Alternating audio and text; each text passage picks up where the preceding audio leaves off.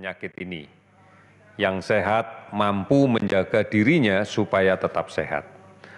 Oleh karena itu, kita harus memaklumi dan meyakini bahwa penyebaran penyakit ini terjadi akibat adanya kontak dekat antara orang yang sakit dengan orang yang sehat. Oleh karena itu, menjaga jarak pada setiap kegiatan komunikasi eh, sosial ini menjadi penting. Droplet atau percikan ludah percikan eh, lendir pada saat orang sakit ini sedang bersin, sedang batuk, itu bisa menyebar merata pada radius sampai dengan satu setengah meter. Oleh karena itu jarak itulah yang harus kita jaga lebih dari satu setengah meter atau lebih gampang lagi adalah kurang lebih dua meter. Inilah yang harus kita pertahankan. Artinya siapa pun mereka, kita juga harus meyakini karena tidak seluruhnya orang yang membawa virus ini nampak sebagai orang yang sakit. Seringkali kita dapatkan orang tersebut tidak nampak sakit ataupun hanya terlihat seperti sakit ringan. Oleh karena itu mari bersama-sama kita patuhi ini. Apakah orang tersebut berasal dari daerah yang banyak ditemukan kasus, misalnya dari Jakarta atau daerah yang lain, bukan ini masalahnya. Artinya tidak ada satu garansi bahwa meskipun tidak berasal dari daerah yang banyak terjangkit eh, COVID, tidak membawa virus ini. Oleh karena itu ini menjadi dasar untuk kita jaga jarak.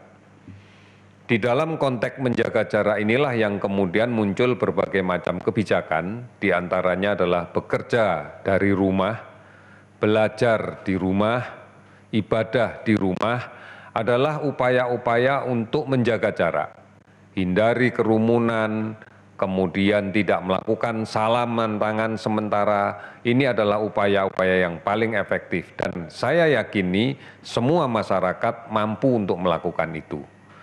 Permasalahannya adalah bagaimana kemudian kita bisa saling mengingatkan saling mengingatkan siapa pun yang ada di sekitar kita, dan kita pun juga mau diingatkan oleh siapa pun yang ada di sekitar kita untuk mematuhi ini.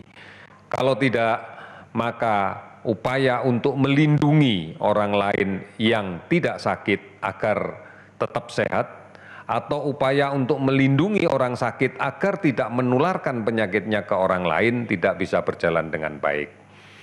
Tahapan ini ditujukan untuk saling melindungi mari kita saling melindungi, saling melindungi siapa pun yang ada di sekitar kita. Kita lindungi keluarga kita, kita lindungi orang yang lain dengan cara menjaga jarak ini. Kita pahami tidak semua orang memiliki daya tahan yang sama.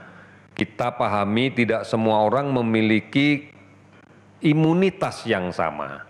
Mungkin untuk sebagian dari saudara-saudara kita yang masih muda, yang daya tahan tubuhnya bagus, imunitasnya bagus, infeksi virus ini tidak terlalu bermakna memberikan keluhan. Bisa saja hanya muncul gejala ringan, bahkan banyak yang tanpa gejala. Namun sadari bahwa dia sangat memungkinkan untuk menularkan ke orang lain. Apabila yang tertular adalah orang tua kita, saudara-saudara kita yang memang sejak awal sudah memiliki banyak penyakit komorbid, penyakit-penyakit kronis yang mendahuluinya, maka dampaknya akan menjadi sangat berat dan bisa berakibat fatal. Oleh karena itu, mari kita jaga, kita saling melindungi, saling melindungi siapa pun yang ada di sekitar kita, utamanya adalah keluarga kita. Lindungi mereka yang sehat, jangan sampai menjadi sakit. Dan mari kita lindungi yang sakit untuk bisa berobat sampai sembuh dan yang lebih penting lagi agar tidak menularkan ke orang yang lain. Ini menjadi kunci kita. Oleh karena itu, siapa pun yang berada di sekitar kita, dari mana pun dia, tetap kita harus berpikir untuk menjaga jarak. Oleh karena itu, mari kita sama-sama melakukan ini. Karena inilah kunci yang bisa kita gunakan untuk melakukan pencegahan. Oleh karena itu dasar pencegahan adalah itu. tidak ada cara yang lain. Kebiasaan untuk pola hidup bersih sehat menjadi penting. Kebiasaan untuk mencuci tangan dengan sabun menjadi sangat penting. Oleh karena itu, mari kita upayakan ini dengan cara bersatu, dengan cara bergotong royong, pasti kita bisa melaksanakan dengan baik. Kemudian yang berikutnya, kita sudah mengupayakan pelaksanaan untuk deteksi dini kita sudah melakukan upaya untuk melaksanakan pemeriksaan massal, screening namanya. Screening yang kita lakukan dengan menggunakan metode pemeriksaan cepat, ini ditujukan untuk segera menemukan dugaan kasus positif.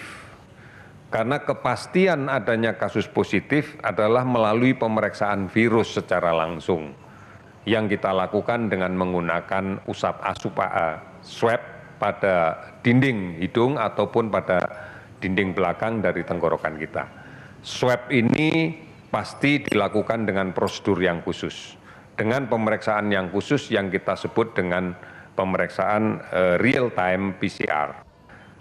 Tetapi pemeriksaan rapid test itu menjadi penting. Dengan pemeriksaan antibodi memang memiliki beberapa kekurangan tetapi inilah sebagai upaya kita untuk melakukan screening awal di dalam konteks untuk melakukan pengawasan terhadap dugaan kasus positif.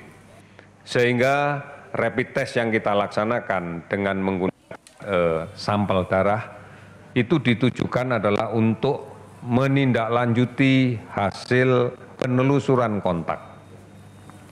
Harapan kita bahwa kontak dekat dari kasus positif yang sudah terkonfirmasi dan kita rawat di rumah sakit, bisa kita tindak lanjuti dengan penelusuran dan mencari kemungkinan adanya kasus positif yang lain di masyarakat. Hasil pemeriksaan rapid test negatif tidaklah dimaknai bahwa ada jaminan yang bersangkutan tidak sedang sakit. Beberapa waktu yang lalu sudah beberapa kali kami sampaikan bahwa screening awal dengan hasil negatif dimaknai kemungkinan memang belum muncul antibodi dari tubuh seseorang yang sudah terinfeksi virus. Kita paham bahwa untuk membentuk antibodi dibutuhkan waktu kurang lebih sekitar 6 eh, sampai 7 hari dan baru setelah itu bisa kita ukur untuk kemudian eh, kita katakan bahwa ini adalah positif atau bukan. Ini yang sebabnya yang harus kita lakukan sehingga harapan saya ke depan adalah bahwa screening test semata-mata ditujukan untuk mencari kasus-kasus yang mungkin positif.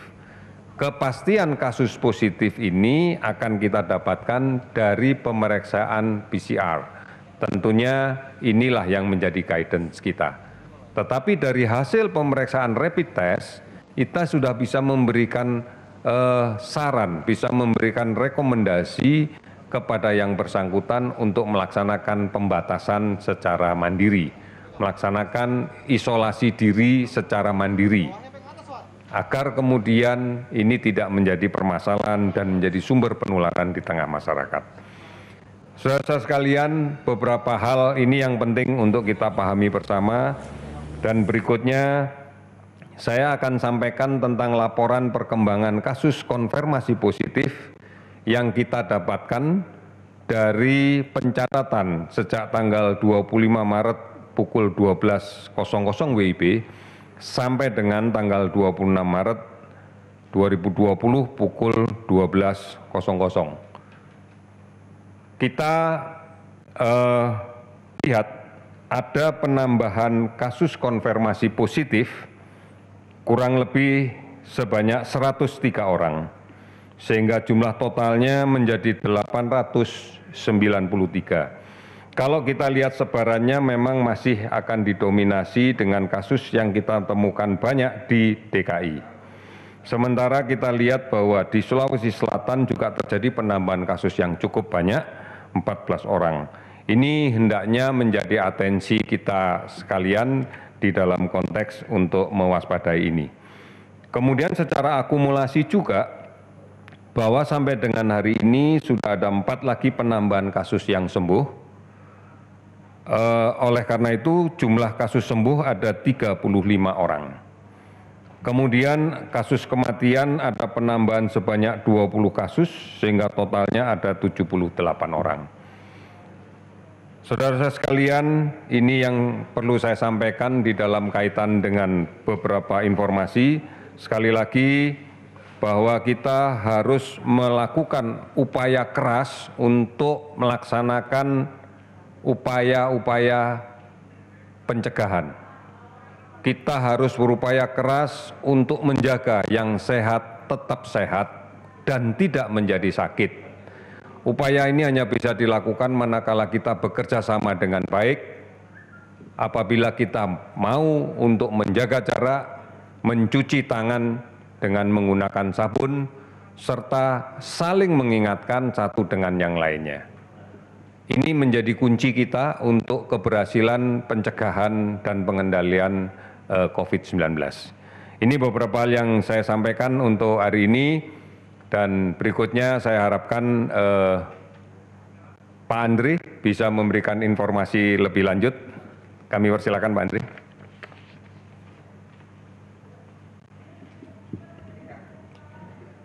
Assalamualaikum warahmatullahi wabarakatuh. Selamat sore, salam sejahtera. uh, Bapak Ibu sekalian, teman-teman media, pada sore ini kami dari gugus tugas percepatan penanganan COVID ini sekali lagi memanggil, mengajak para relawan untuk menjadi bagian dari pejuang kemanusiaan. Pada hari ini kami sudah membuat microsite di website BNPB untuk bisa menerima pendaftaran para relawan sekalian. Alamatnya ada di http relawan pb.bnpb.go.id garis miring COVID-19. Saat ini Indonesia membutuhkan sekitar 1.500 dokter terutama dokter spesialis paru, dokter spesialis anestesi, dan juga dokter umum, pranata lab, sekitar 2.500 perawat, dan juga bagian administrasi rumah sakit sampai ke supir ambulans. Ini semua kita terima dan kita panggil sebagai relawan untuk persiapan kita menghadapi pandemik ini. Gugus tugas bekerja sama dengan banyak asosiasi, LSM, perguruan tinggi bersama-sama mengajak semua elemen untuk bergabung menjadi relawan di mana para dokter dan perawat serta administrasi rumah sakit, farmasi akan berada di gugus depan menangani pasien, menangani rumah sakit, sedangkan teman-teman mahasiswa, mahasiswa tingkat akhir akan menjadi lapis kedua sebagai bagian dari pencegahan.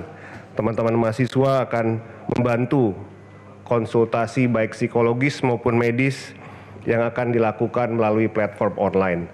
Jadi dalam uh, minggu ini semua akan diluncurkan, hari ini sudah diluncurkan uh, des relawan, mungkin besok juga akan dilakukan secara uh, masif uh, pembukaan pendaftaran ini kita bekerja sama dengan banyak uh, pihak yang juga sudah melakukan pengumpulan dan mengajak relawan-relawannya masing-masing.